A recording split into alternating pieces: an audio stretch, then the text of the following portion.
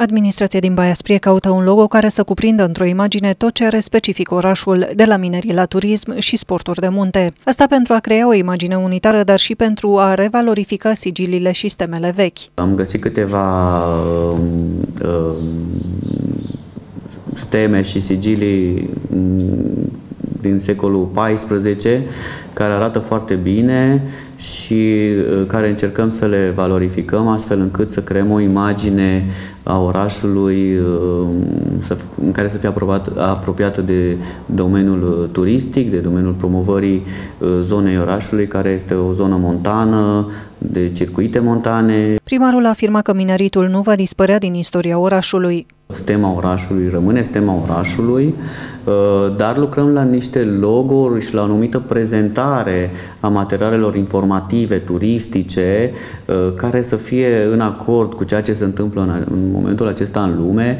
adică mm, foarte mult contează în spațiu public, în special online, uh, la cum ne prezentăm, la ce pagină de internet avem, la ce pagină de Facebook, la cum arată anumite simboluri acolo uh, și atunci pe lucrul acesta încercăm să lucrăm astfel încât să atragem cât mai mulți turiști și să dăm o imagine unitară. Legat de simbolurile orașului, recent primăria a primit o copie a primului sigiliu. Un meșter din satul nou de sus l-a creat la o scară mai mare, iar administrația din Baia Sprie speră să-i găsească locul potrivit într-una dintre instituțiile publice ale urbei. Așadar, simbolurile nu vor dispărea din Mediomonte, chiar dacă sunt legate de istorie.